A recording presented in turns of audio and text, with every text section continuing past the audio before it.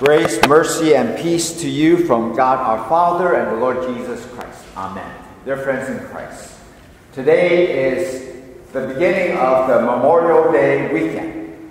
And Memorial Day is a very important holiday for our country. Memorial Day is a time for us to gather and to remember something very important. You might see on Memorial Day that there are all kinds of ceremonies and maybe parades. There might be all kinds of speeches that go on. You might see that there are all kinds of festivities and activities for Memorial Day. And many people see Memorial Day as a time when summer begins, that it's time to start having barbecues and going on vacation and school is over. And that Memorial Day is something to really celebrate. Well, Memorial Day is not so much a celebration as it is a commemoration. Memorial Day is a time for us to commemorate, to remember those fallen heroes, those who have given their lives for us to protect our country. It is a time for us to remember and honor the soldiers who have died in conflicts and in wars and battles. It is a time for us to give honor to those who serve in our militaries and our armed forces. It is a time to commemorate, to remember those who made the ultimate sacrifice. Today, in our series, our 31 week long series, The Story, we are at chapter 28 New Beginnings. It is about new beginnings of the church. Last week we heard about the resurrection, and now we are looking at the church. And we're looking at Pentecost, and we often call this the birthday of the church. And so we celebrate that as God working to bless his church. And if you were doing your readings this past week, you would have read many activities that happened in this new church. And you read through many of the things that were happening in the book of Acts. And matter of fact, we oftentimes call the book of Acts the Acts of the Apostles. And you see the disciples in action. You see the apostles in action. You see many activities going on. And so in Acts chapter 1, you see Jesus instructing the disciples, telling them that they will be his witnesses in Jerusalem, in Judea, and Samaria, and to the ends of the earth. In Acts chapter 1, a little later, you see the disciples taking action. They decide to cast lots and choose a replacement for Judas. Judas who betrayed Jesus Judas, in his regret, goes and hangs himself. And so they cast lots to choose a replacement. And the lot fell upon Matthias, and he was added to their numbers. Then in Acts chapter 2, you see the disciples in action again. This time, they're filled with the Holy Spirit, and they begin to speak in tongues with fire dancing on their head. And people are wondering what was happening here. What does this all mean? And some even said, the disciples, they must be drunk. But it can't be. It's only 9 o'clock in the morning. And Peter began to preach.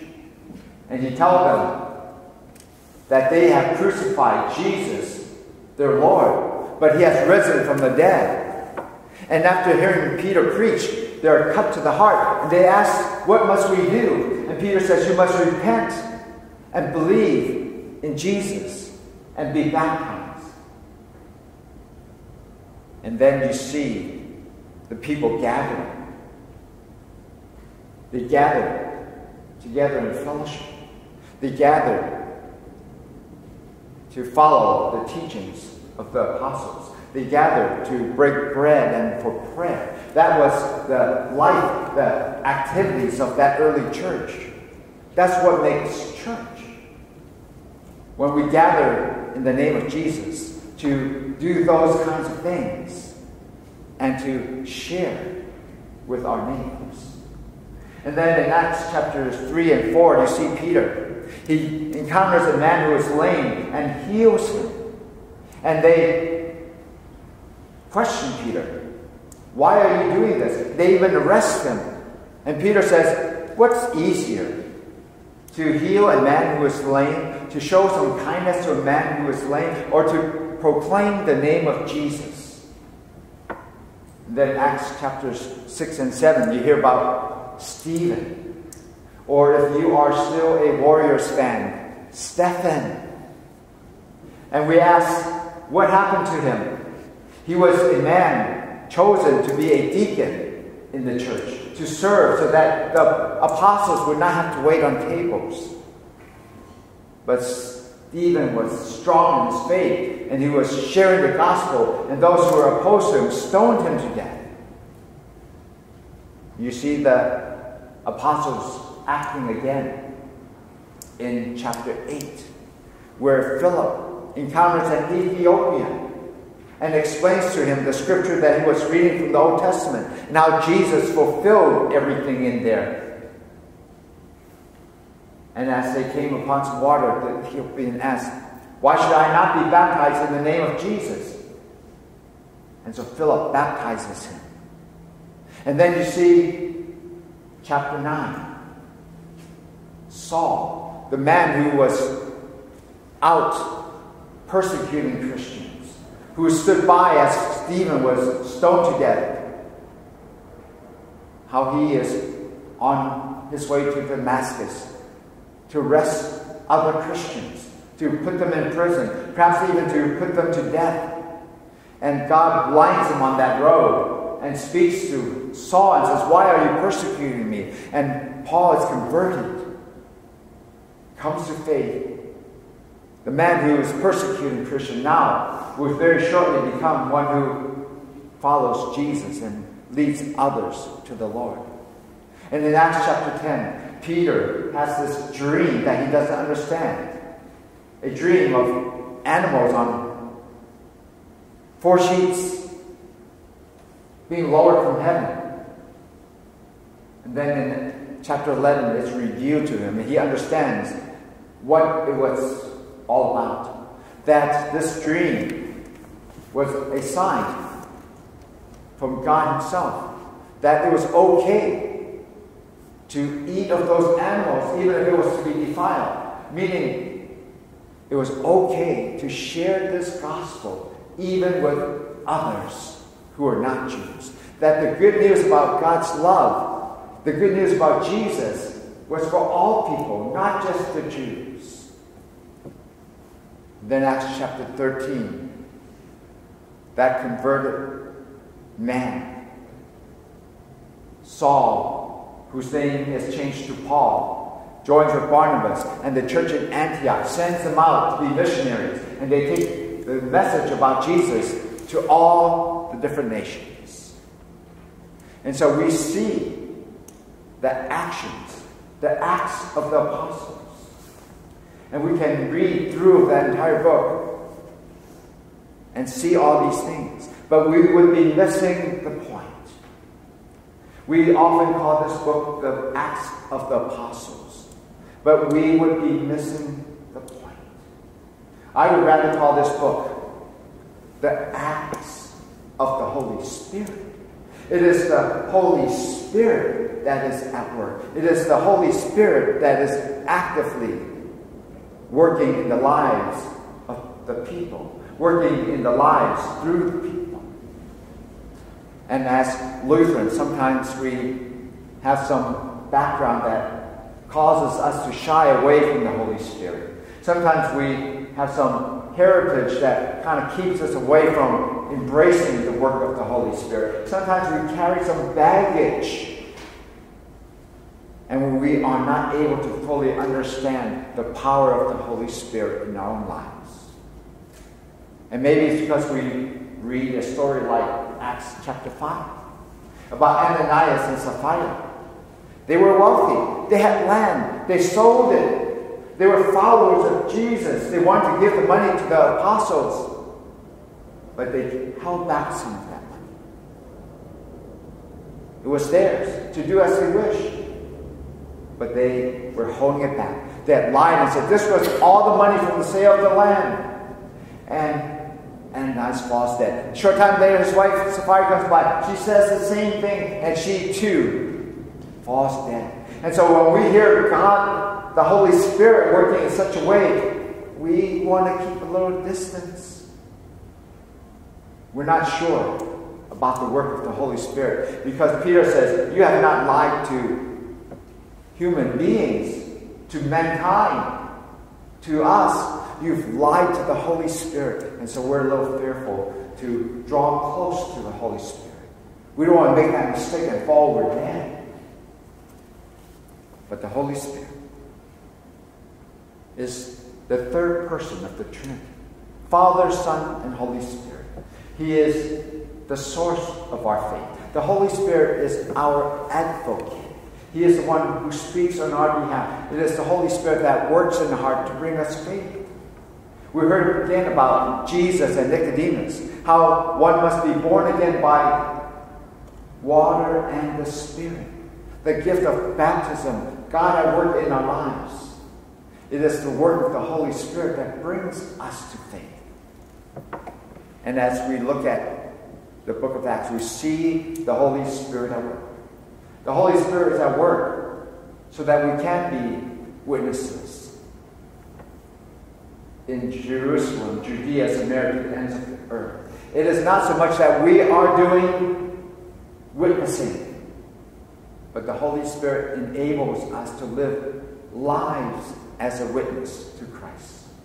It is the Holy Spirit that works in our proclaiming the gospel, like on Pentecost. It is the Holy Spirit at work in the healing that we bring to people. It is the Holy Spirit at work with the Ethiopian, bringing him to faith, helping us understand Scripture. It is the Holy Spirit at work as we make difficult decisions, like casting lots and choosing leadership. It is the Holy Spirit at work in us that brings new vision to a person like Paul. It is the Holy Spirit that leads us to understand that the gospel is for all people.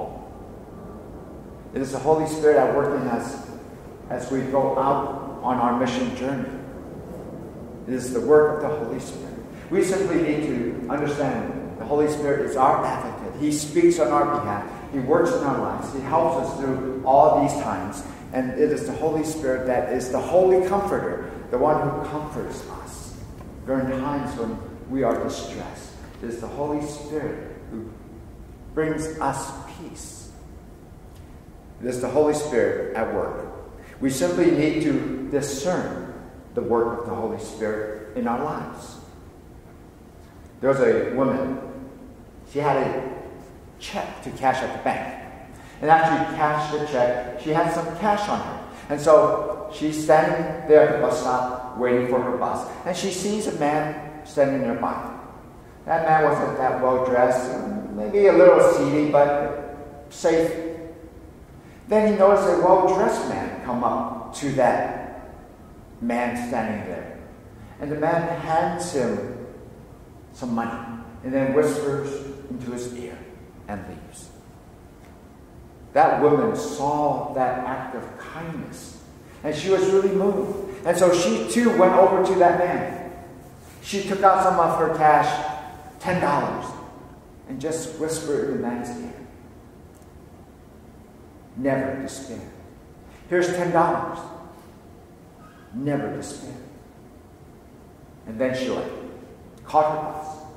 The next day, she comes back to that very same bus stop to take that same bus again. And there's that man again. This time, the man comes up to her. And the man hands to that woman $110. And the woman says, What are you doing? Why are you giving me all this money? And the man says, Remember yesterday, you told me $10 on never despair. He won the race, pays off 10 to 1. How do we discern? There's another man named Randy Murphy. He's been driving for 30 years. And for 30 years, he never had a driver's license. But he never got a ticket. He drove safely, very well, until one day he's driving along, He decides to roll down his windows, he's blaring some music, and as he turns the corner, a police officer notices. And just doing a routine stop, he stops the man and asks for his driver's license. And Randy Murphy admits he's never had a driver's license. But rather than just writing up a ticket or arresting him or doing something to penalize him, the officer asks Randy, and why is it that you don't have a driver's license? The man says, I've never been able to read well enough to pass the driving written exam. That officer was moved. And he says, Would you be willing to spend six weeks with me so that I can help you to read enough so that you can take that written exam? And Randy accepts the officer's gesture. And for the next six weeks, they study together and they learn all the driving regulations and what's on an exam.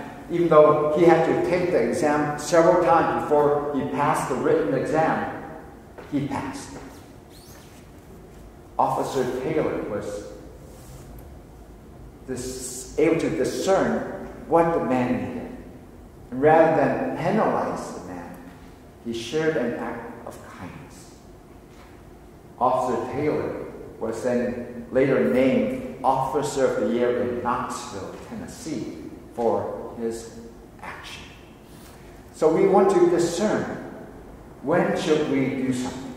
And the Holy Spirit will grant us that discernment. He will lead us in knowing do we simply give someone money, ten to one, or do we do something that is able to bless someone?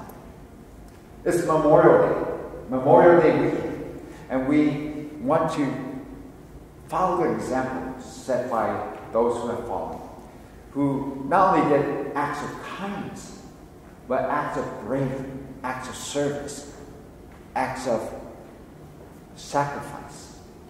The Holy Spirit will help us to discern those times and those opportunities as well. As we walk with Jesus, as we continue to follow Him, it will be the acts of the Holy Spirit working in us and through us. And God will continue to bless all those people you encounter, day in and day out. May God grant that to us this day. Amen. Now may the peace of God, which surpasses all human understanding, God save your hearts and minds in Christ Jesus our Lord.